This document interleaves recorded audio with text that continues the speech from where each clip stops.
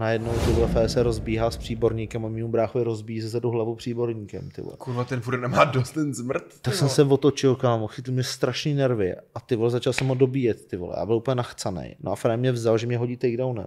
A jsem se ještě zádama napích na poličku, ty vole. Chytl mě takový nervy, že jsem ho ty vole začal strašně dobíjet. Naštěstí jsem ho fakt libově trefil. No a uspěl jsem ho tam fakt jako brutálním knockoutem, že tam ležel dlouho.